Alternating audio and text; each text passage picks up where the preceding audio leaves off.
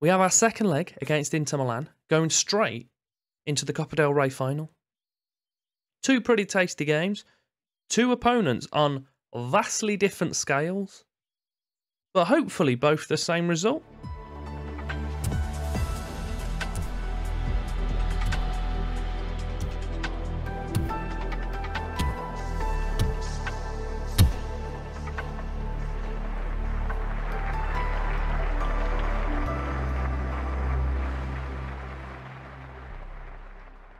Welcome back. Barcelona, the beautiful Barcelona, rebuild, if we're still calling it that. Episode 31. We have Inter Milan. We've played the first leg. It went pretty well. We then got after that our final against Eibar, who are in the division below ourselves. We'll have a little check to see how they're doing in that division. So they're currently eighth. So they are just outside the uh, playoff places. So they're not doing particularly well in that division. And our B team uh, are two, 19 points ahead of them. So I should like to think that if our B team are, are slapping them on the regs, then we'll do the same. Since the previous episode, we've only played a handful of games, but we've had positive results in almost all of them. Before I run through them in a little bit more depth, you're welcome to read through while I'm saying. If you could do me the favour of liking, subscribing, show your support on the channel, that would be greatly appreciated we played Real Madrid at the uh, Bernabeu as well. We beat them 5 1. We just did. Slapped them. Didn't have a clue what was going on. Five minutes in, we were 2 0 up. Bullied, they were. We followed that up with a 5 0 win against Osasuna. And then the first leg of the game against Inter, we beat them 3 0 at the Giuseppe Meazza. They didn't know what was going on. They're just not very good. If you want to see a good Inter Milan team, and one that's been managed competently, then please go over to my friend's channel, Andrew Plays. I'll scoot him up here if I uh, if if I remember. but now he's doing very good. We followed that up with a uh, a one one against Alaves. Wasn't the best. I tried to fully rotate the squad. Didn't really work.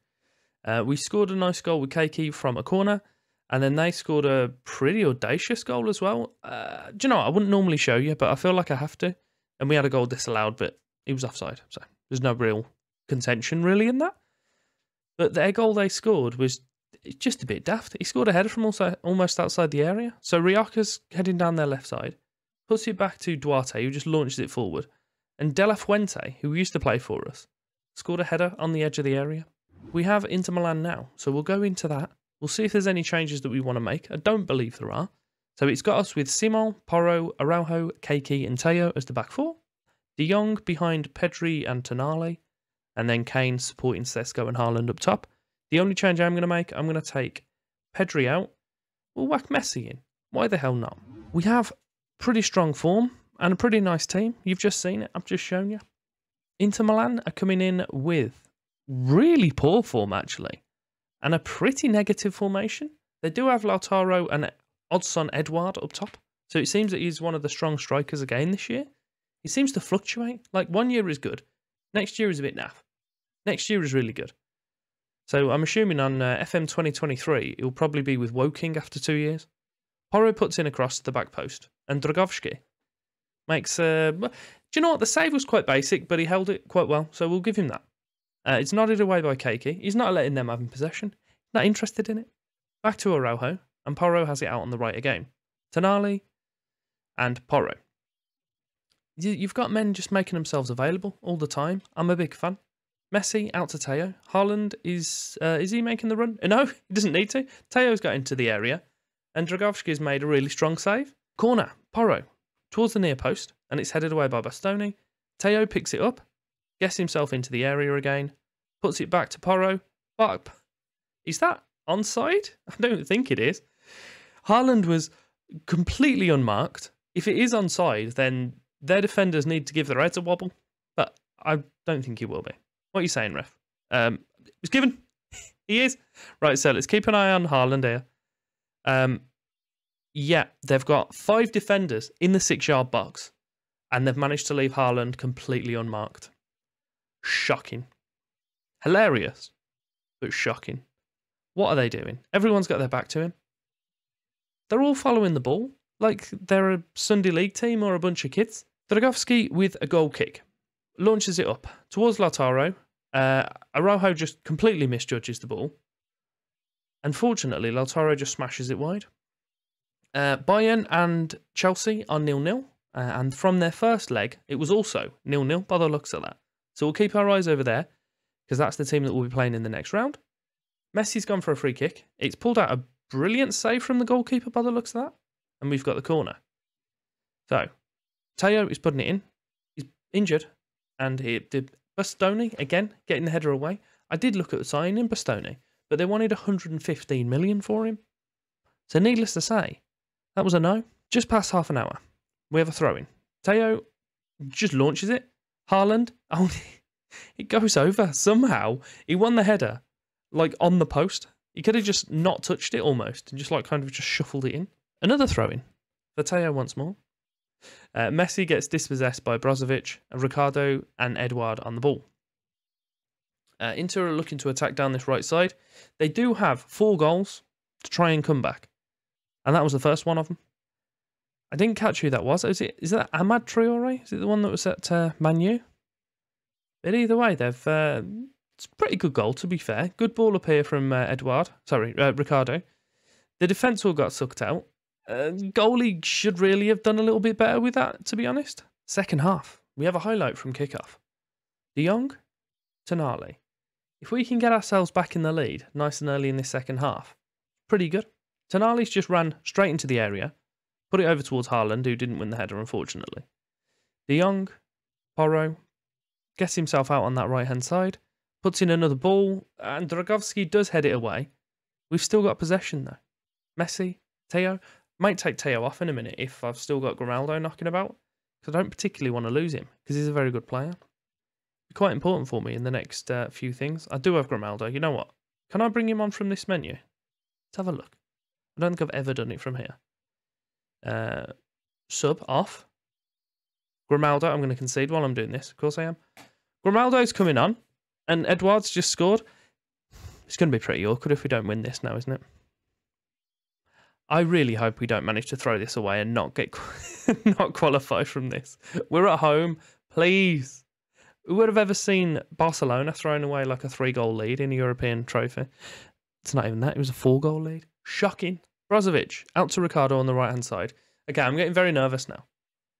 Puts it back to Brozovic. There's 57 minutes on the clock. He smashed it at our defender's face. We're breaking. This is what we want to see. So now we've got what, a three on four break? Haaland's got past his man. He scored. Ref's running away. It's number 56 for him for the season. 56? Kane does well here, runs through. Haaland just just casually just runs past his centre back. I'm not sure who it is because it won't let me click on him. De Vrij. He just got caught in no man's land. Shocking. We have passed the hour mark now, so we're going to make some subs. Uh, Grimaldo is also injured. Who's their right winger? Because he's absolutely clattering our players. Going to bring on Eric Garcia for Keiki because he's booked and I don't want to lose him. Uh, Messi can come out for Pedri. Porro has immediately picked up an injury. I've dropped Frenkie back. I am, well, I have got him out at right back at the moment, but there's no one else really that can cover that. So he's just going to have to play out there and just kind of deal with it. Bit concerned that Grimaldo's also going to pick up an injury. Uh, I've had to drop Kane into the centre of, well, centre attacking mid. We've moved the two strikers, Sesko is now a complete forward on support, and our centre mids are deep line playmaker on defend and a box to box mid. Hopefully, there's still enough there for us to keep strength out.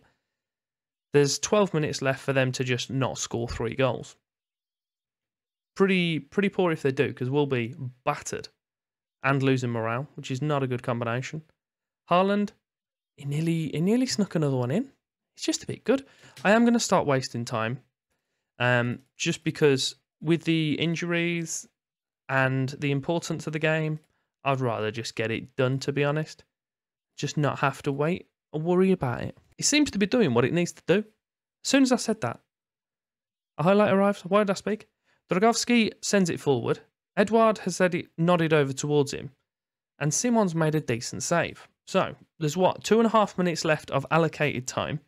You've obviously then got injury time on top of that, which is probably going to be a few minutes because we've picked up an actual injury. But hopefully, it's just going to be done. End this highlight, nice and friendly, and then it's all it's all good. Happy days. Ricardo has the ball out on the right for Inter though. Grimaldo's intercepted it. Pedri and Haaland back into Grimaldo, and he's just passed possession away. He's not supposed to be doing that. Edouard's in against us again in the area. Ricardo into Traore in the middle and out to Christensen on the right wing. Good ball across. Eduardo snuck it in for his seventh goal of the season. He had five before this game. My striker had 55, and yet he scored more. Shocking. Let's not watch this again. Okay, let's watch it. It's just your man here just completely loses him, and then just some acrobatic madness, and it almost goes through Simon. Bit disappointing for us to lose on the night. Oh, never mind. Tonali puts in the cross. Ah, Eric's header. Well, he doesn't manage to get the header off. Uh, Grimaldo out on the left. Pedri thought he was going to try and bend one in. Back to Grimaldo. Puts it in. Sesko. he scored.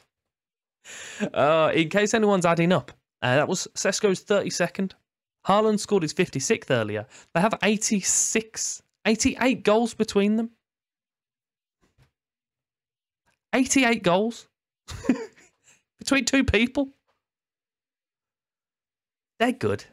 I'm just a fan. Harry Kane's all right, but he's not Sesko or Haaland. The deed is done. We shall play Bayern Munich once more this season. They beat Chelsea 1 0. So, if I believe, if I remember rightly, they had the better of us over the two legs, but it wasn't um, it wasn't convincing. So the first game they beat us 4 1, and the following game we beat them 3 2, but there was a late goal from them if I remember. So we can beat them, but we can also lose. So be interesting to see how those two legs go. We will go into now the game against Eibar, and uh, hopefully we'll see ourselves, our little men doing celebrating, cartwheel, funny dance, the whole shebang. We have now the final. Playing against Eibar, we should be, uh, be be strong enough to get past these. I don't know if I can find out where the game's been played. I think I'm just going to kind of scoot through and then eventually find out.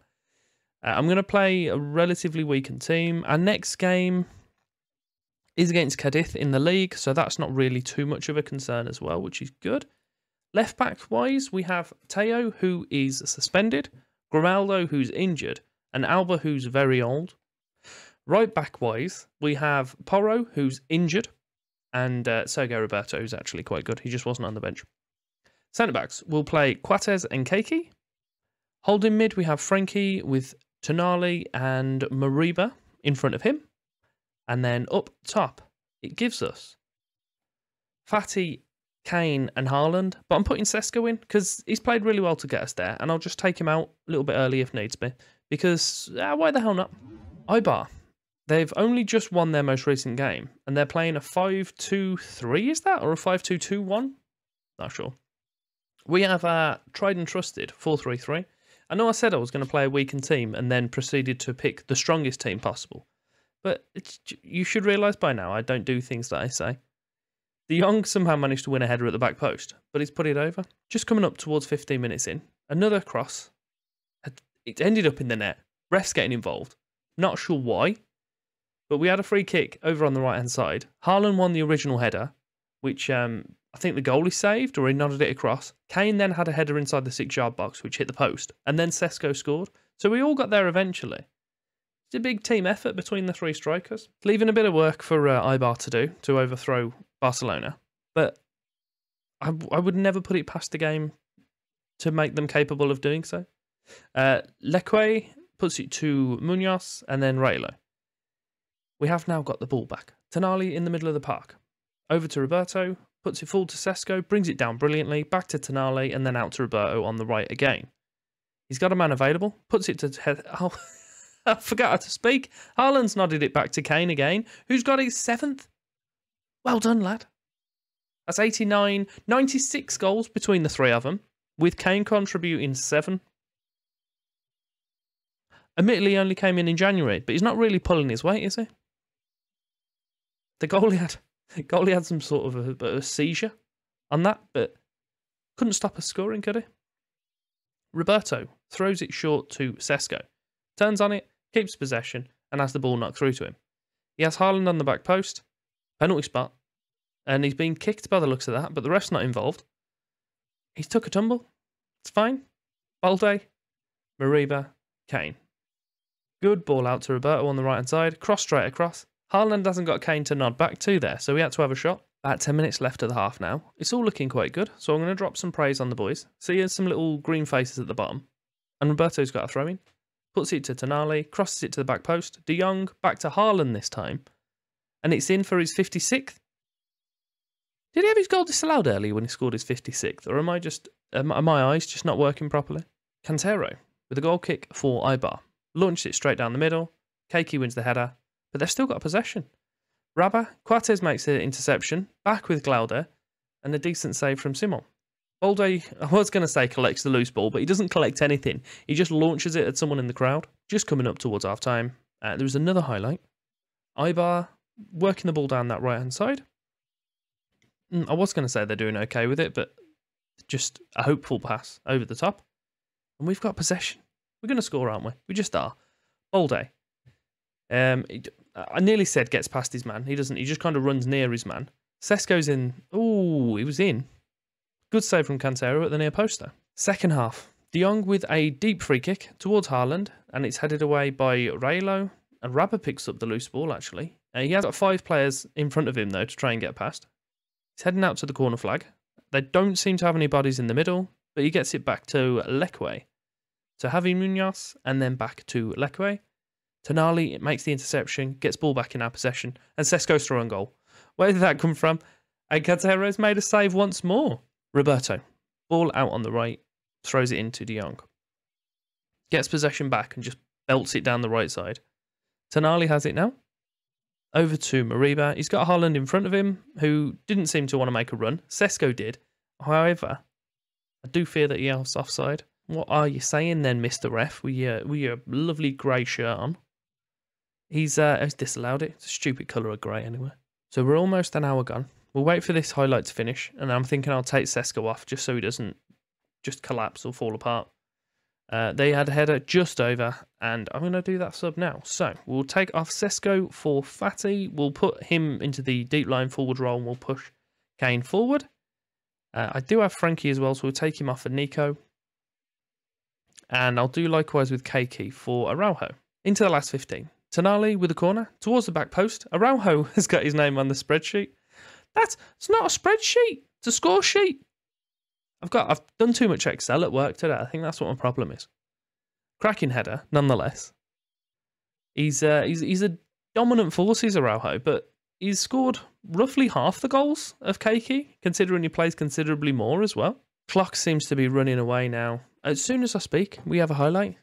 Last minute of the game. Balde there's a 4 0 lead for us at the moment. It's going to take something pretty magical from Eibar to uh, to beat us. Tonali, Roberto. We are not far from the La Liga title. Um, I think there's two or three games left. Haaland's just got himself a goal at the back post, which is his 58th. So I think the one that he scored earlier must have been his 57th, unless that was his hat trick. Yeah, it's going well. Uh, La Liga, I don't know if I'll be able to confirm it with one of the Bayern games, but I'm thinking I'm just going to come back next episode with both legs of the Bayern game because realistically the league's done now. Um, and I'll just tell you if and when we've when we've won the league. But talking about winning things, we've just won the cup. So we've got the Super Copa, Copa del Rey, chasing the league, maybe the Champions League. So we, we're still on for a quadruple at the moment. Pretty pretty good. Definitely better than last year because we've actually seen some silverware. It's uh, it's happy days. I think this is the first time we've picked up the Copa del Rey. I may be wrong, but uh, as I said, this is what I wanted to see: celebrations, funky dances, and now a cartwheel. Thank you, number twenty, right on cue. Happy days. For those of you that wanted to see the stats, I'll pop you on this screen for a sec. Haaland picked up a 9.9 and only a brace. So if that was his 58th goal, his first one must have been his 57th. Yet they told me it was his 56th. They're lying to me.